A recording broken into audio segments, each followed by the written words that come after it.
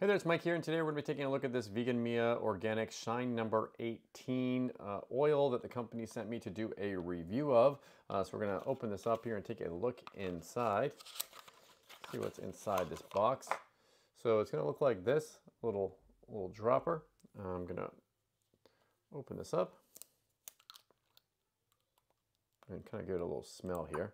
So yeah, it's got this like little little dropper here like this. Oh, it smells it smells nice. It smells kind of I guess rose rosemary. It smells good. So yeah, I hope you enjoyed this review.